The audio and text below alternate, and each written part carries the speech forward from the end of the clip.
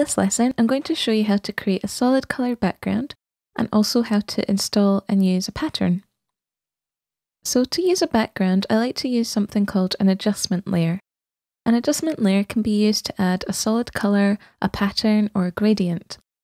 I prefer to use adjustment layers when creating backgrounds because it allows you to preview your choices and also easily allows you to go in and edit, delete it altogether. So I would definitely recommend using this feature where you can. So first of all, let's add a solid color background. Over on our layers panel, you can see that we already have a background layer. This is just a basic 12 inch by 12 inch white canvas.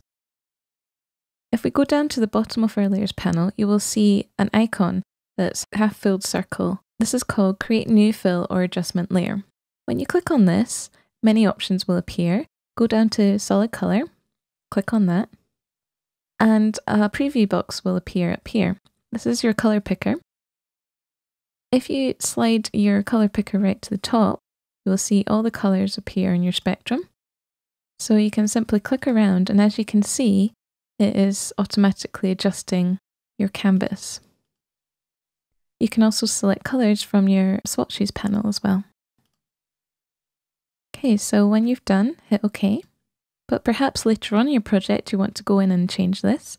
So the great thing about adjustment layers, you can easily just double click on this picture with the color, and then you can go in and change the color.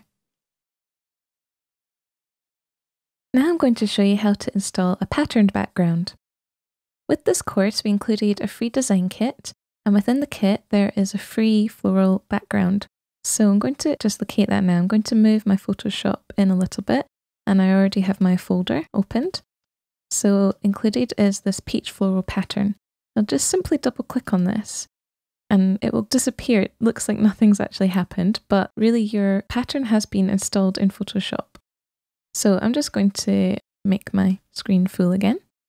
Now I'm going to add another adjustment layer. If you click on the icon again and go down to pattern this time. Now, as you can see, your pattern has automatically appeared. If it hasn't, you can go into this icon here, and this is where all your patterns will be installed. Also make sure to check link with layer so that it previews on your screen. The great thing about this is that you can scale your pattern up so the repeat is larger or the repeat is smaller. And you can also move your pattern around. So when you're happy with how your background looks, hit OK. And again, if you want to edit it, just simply double click and your options will come up again.